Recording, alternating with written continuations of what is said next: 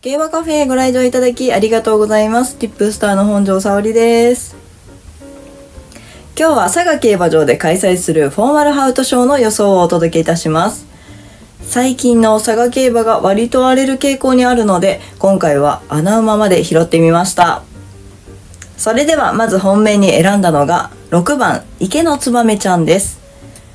佐賀競馬移籍後は2戦2勝の成績を残しており、持ち時計も1分29秒7と今回のメンバーでも通用するタイムを持ち合わせているので、上位争いできると判断して本命に選びました。続いて対抗に選んだのが7番ファーマティアーズです。大井競馬から参戦してきた馬で、金層は成績が振るわないものの、デビューから2戦目では 1400m 戦を1分29秒6のタイムで優勝しており、この時のようにスムーズな先行ができれば頭を狙える可能性があると判断して対抗に選びました。次に穴馬で紹介したい馬が9番バイスネリケです。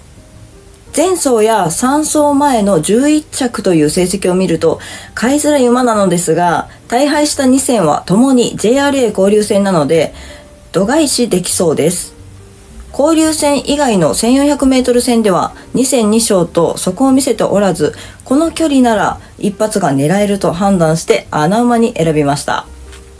それでは今回の回目ですが3連複1頭軸流しで6番池のつばめちゃんから1番ウェンティ2番ビエントマルコ3番ビーアライブ7番ファーマティアーズ9番ワイスネリケ。12番エイラク。以上の6頭に流した15点で的中を狙いたいと思います。今週は中日杯統計2世記念の予想も YouTube にて公開いたします。JRA の平場予想はサイト動画にてご覧いただけます。皆様のご来場お待ちしております。